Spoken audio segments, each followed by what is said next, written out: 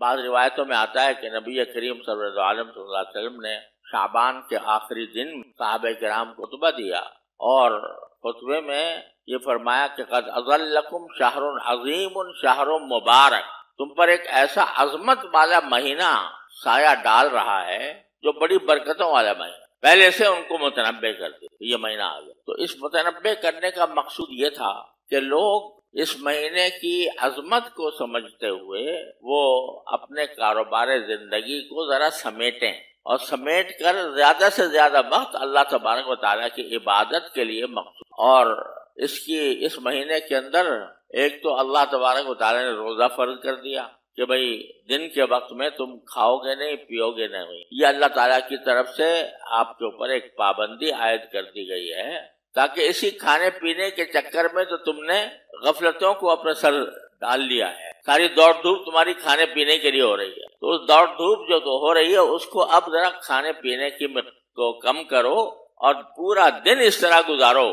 कि न कुछ खाओगे, न कुछ पियोगे। दिन में तो ये किया। और रात में अल्लाह तबारक वाली ने तराबी की नमाज़ रख दी। तराबी की नमाज़ रख दी इस तरह के बीस रकतें हर रात हर मुसलमान के लिए सुन्नत करार बीस रकत। है और बीस रकतों के माना क्या है? चालीस सजदे। हर रकत में दो सजदे होते हैं ना? तो तो बीस रकतों में चालीस सजदे अल्लाह तबारक वाली ने इजाफी अदा फरमा दी। ये चालीस सजदे क्या हैं? हदीस में आता है कि बंदा अपने अप, अपने परवरदिगार के किसी वक्त में भी इतना करीब नहीं होता जितना सजदे की हालत में बल्कि ये भी ताकीद फरमाई एक हदीस में रसूल करीम वसल्लम ने कि बंदा अपने परवरदिगार से किसी भी हालत में इतना करीब नहीं होता जितना सजदे की हालत में यानी सजदे में जब आदमी अपनी पेशानी ज़मीन पर रख देता है, अल्लाह तबारक वाली की बारगाह में तो बस अल्लाह ताला से कुर्ब का इंतहाई दर्जा हो, जो और किसी अमल में हासिल नहीं होता। और बड़े प्यार से फरमाया सूर्य में कि तुम सजदा करो और करीब आ जाओ। सजदा करो और करीब आ जाओ। यानी तुम्हारा सजदा तुम्हें अल्लाह तबारक वाली से, की बारगाह से, अल्लाह ताला की रात से करीब कर देगा। अल्लाह ताला का कुर्ब चाहते हो तो सजदा, कसरत से किया करो। और एक रिवायत में यह भी है कि सजदे में कसरत से दुआ किया करो। यानी एक तो सजदे का जो मारूफ ज़िक्र है सुबहान रबी आला, वो तो है ही है, तीन मरतबा कम से कम, और फिर जितना हो सके पाँच, सात, नौ ग्यारह, तेरह, जितनी मरतबा भी पढ़े, वो खास ज़िक्र तो है ही। लेकिन एक खास तौर पर यह फरमाया कि इस ज़िक्र के अलावा दुआएँ भी किया करो सजदे में। चुनाचे वो दुआएँ जो कुरान करीम में आई हैं या जो रसूल करीम सरवर आलम वसल्लम तलकीन फरमाई है, सजदे की हालत में वो दुआएँ करना भी मसनून है। क्योंकि सबसे ज़्यादा करीब पहुँच गया बंदा अल्लाह तबारक वाली के। तो अब अल्लाह ताला के कुर्ब का ये फ़ायदा हासिल करे कि मैं अपनी सारी हाजतें बारी ताला की खिदमत में पेश कर दूँ, बारी ताला की बारगाह में पेश कर, सजदा कर दूँ, सजदे की हालत में। तो ये तलकीन तलकीन फरमाई रसूल करीम से तो अब तरावी के दौरान और रात के वक्त में ईशा के बाद 20 रकते और उसके नतीजे में 40 सजदे। अल्लाह ताला ने मजीद अता फरमा ताकि तुम मेरे करीब आओ। आम दिनों में तुम्हें हुक्म नहीं है।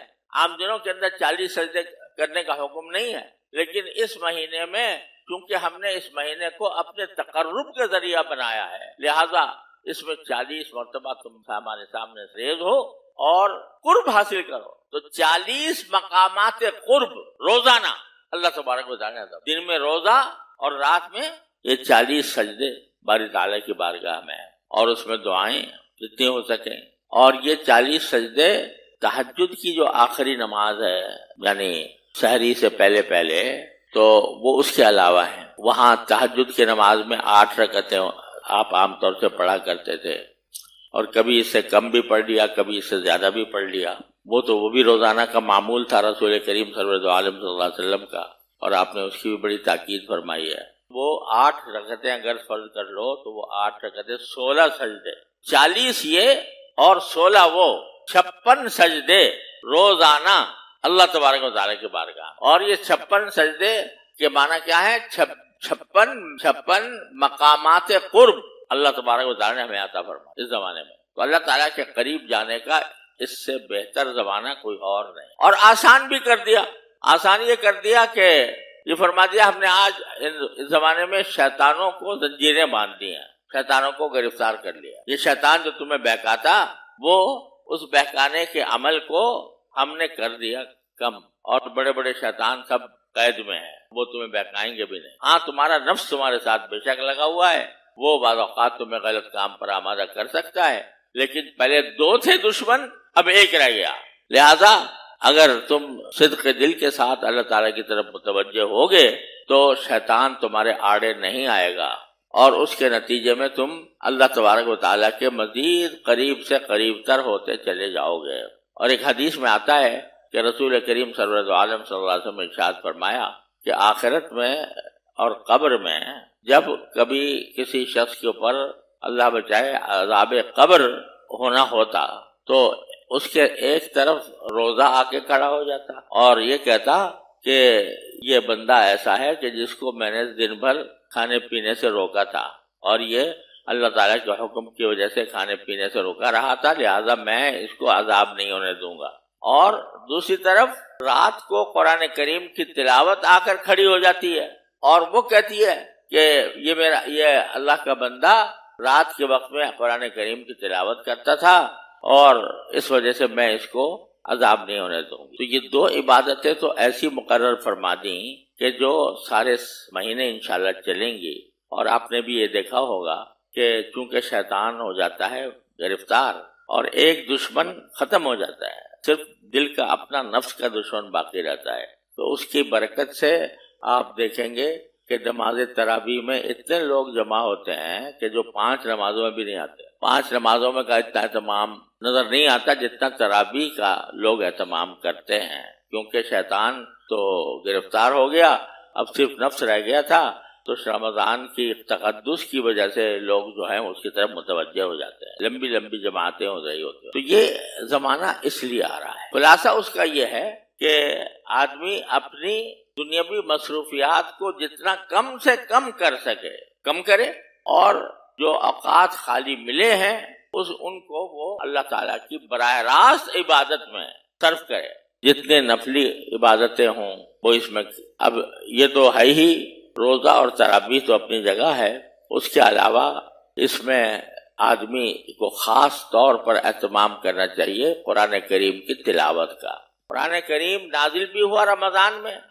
और नबी करीम सरबरत आलम वसल्लम का मामूल था कि रमज़ान मुबारक में हज़रत जबरील सलाम के साथ कुरान करीम का दौर फरमाया करते थे। अब क्या आलम होता होगा कि एक तरफ़ जबरी अमीन सलाम कुरान करीम की तिलावत फरमा रहे हैं और एक तरफ़ रसूल करीम तिलावत फरमा रहे हैं तो तिलावत कुरान को इस रमज़ान के महीने से खसूसी एक नस्बत है? तो अपने मामूलत शब रोज़ में कुरान करीम की तिलावत को अपना मशगला बनाए। आम दिनों में अगर तिलावत का मौका नहीं मिलता या कम मिलता है तो इसमें उसकी मकदार में इजाफा करें। हज़रत इमाम मुनीफा रमत से मनकूल है कि तो वो एक कुरान करीम सुबह दिन में एक कुरान करीम रात में ख़त्म करते पूरा। हज़रत अल्लामा इबन आबिदीन शामी के बारे में भी यही बात लिखी है तो पूरे सारे दिन में एक कुरान खत्म। बहुत से लोग जो है वो तीसरे दिन ख़त्म कर लेते हैं। आज लोग हफ़्ते में ख़त्म कर लेते हैं। तो कुरान करीम की तिलावत का खसूस तमाम, उसके लिए वक्त निकाला जाए तो भाई हम तिलावत करेंगे। इसी तरह चलते फिरते, उठते बैठते कोई ना कोई ज़िक्र जबान पर हो। सुबहान अल्लाह, अल्हम्दुलिल्लाह। अल्लाह अकबर। ये अजकार हैं, जिनमें से हर एक के अपने कायनात है, एक एक ज़िक्र की। खास तौर पर ये ये कलेमा जो है जिसको तीसरा कलेमा कहा जाता है। सुबहान अकबर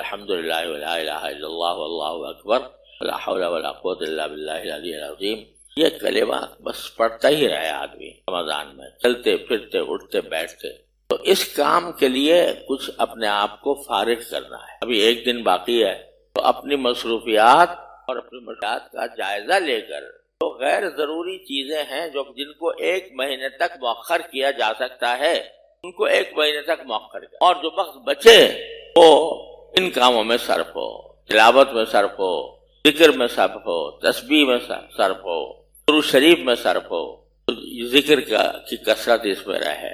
इसका अभी से एहतमाम करना होगा। अभी एक दिन बाकी है, आज का दिन भी, कल का दिन भी।